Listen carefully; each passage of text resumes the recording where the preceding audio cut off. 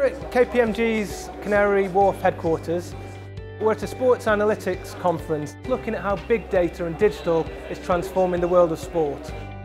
I think one of the great things about Loughborough's presence here is it's really helping project our footprint now and visibility in London.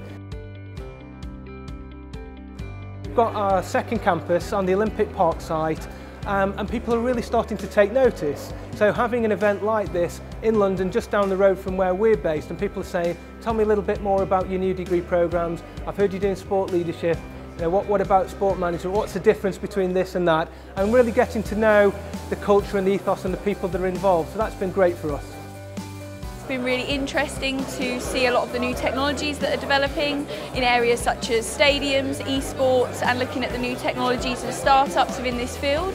Specifically for me, I'm teaching a sport analytics and new media module for our sport business students next semester. So it's a chance for us to really see the synergies between industry and academia and bring that new current content for our students into the classroom. Uh, most interesting thing for me today is the fact that you can see uh, the world leaders, so BT Sport here, Microsoft here, IBM, um, and also there's a lot of startups here as well. So you can see the transition between a startup and what it takes to be at the top. Uh, this experience just adds so much more to your university experience than your normal learning in lectures, so it's just fantastic to be able to come here, meet people that are really working in the industry and gain valuable insights from what they've got to say.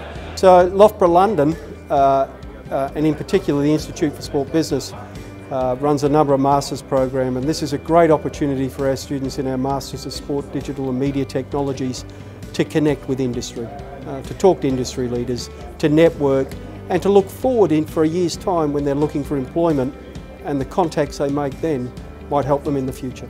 It's an absolutely great opportunity to talk to high officials and experts in, in every um, industry. The whole conference inspired me to uh, move on and kickstart uh, of my the business side there. I think the lectures and the brands that we've had are, are top notch. They're the best of the best in the industry. Uh, they're the people who actually, their decisions sway in the direction in which the industry will go in the future. So hearing from them has been a wonderful opportunity and a great learning experience for all of us. And I think we can take that forward in our studies this year and it could really help us in the future.